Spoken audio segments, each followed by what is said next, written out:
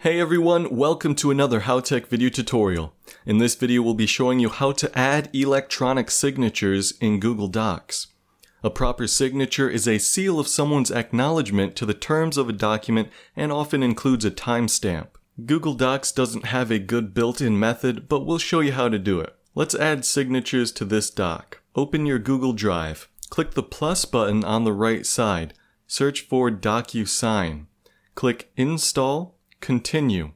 If a bar pops up at the top of your browser instead of a new window, allow all pop-ups from this site and then try installing again. Log in with your Gmail account. Open your Google Doc. Click the New button on the right for DocuSign.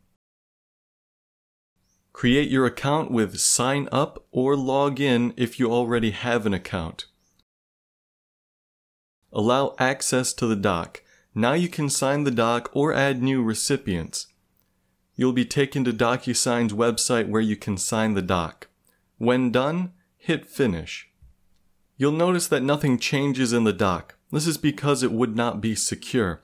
To view the signed document, click View Envelope. You can also see your signed documents on your DocuSign account. Here you can download your document to send to someone else. If you log in to app.docusign.com, you have more options. You now know how to sign your docs. What other legal or business tools do you want to learn how to do? Thanks for watching. If you liked this video, don't forget to give it a thumbs up and subscribe to our channel. And make sure to press the bell button to be the first to know about our new videos.